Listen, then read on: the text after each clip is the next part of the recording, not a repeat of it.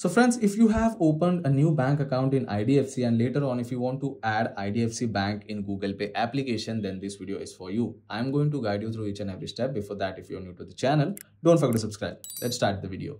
So the very first thing you need to do is simply open Google Pay application and you have to complete the sign in process. And if you are using Google Pay application for the first time, you need to, uh, you know, use your mobile number, which is linked with your bank account and then the sign up will be complete. Now, if you know this process, you can directly skip to the next part. So now I'm going to enter my mobile number and go ahead. So once you enter your mobile number, simply select continue option. Later on, it will ask you to choose an account. So uh, automatically your email ID will be detected. Simply select accept and continue and go ahead. Now you can see verifying is in process. You will receive an OTP on your mobile number. So uh, enter the OTP over here and go ahead.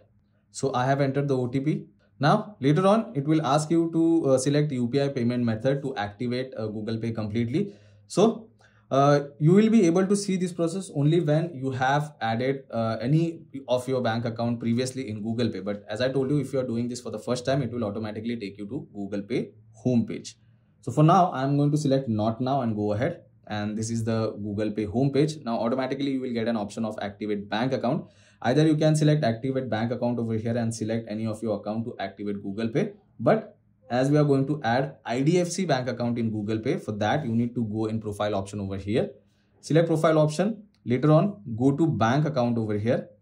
And on this particular page, uh, you need to select add bank account. So select add bank account and you need to choose your bank over here. So as we are going to add IDFC bank account, you can just simply tap on search bank and search for IDFC. Once you get IDFC Bank, tap on that bank, select continue option.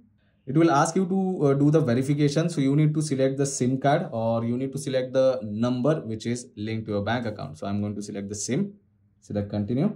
So you can see now it's verifying the number. Now you can see once the verification is complete, it will search for the bank and if it detects the bank, it will automatically add the bank in your Google Pay application. Now later on, it will ask you to uh, set uh, you know UPI number. You can do that later as well. For now we are going to select not now. In some cases it will ask you to enter last six digits of your debit card so as I have already added this bank account in PhonePe application it did not ask me to enter the card details but if you're adding uh, you know IDFC bank account on any UPI application for the first time it will ask you to enter the card details so you need to enter the card details and you need to verify and later on uh, the bank will be added automatically so these are the simple steps you need to follow in order to add IDFC Bank in your Google Pay application. And if you want to check any more details, you can simply go to bank.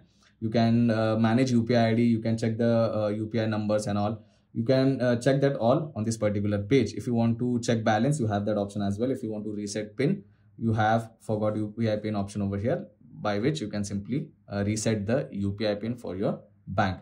So yeah, that's pretty much it for today's video guys. I hope this video was helpful. If it was, then don't forget to subscribe to my channel.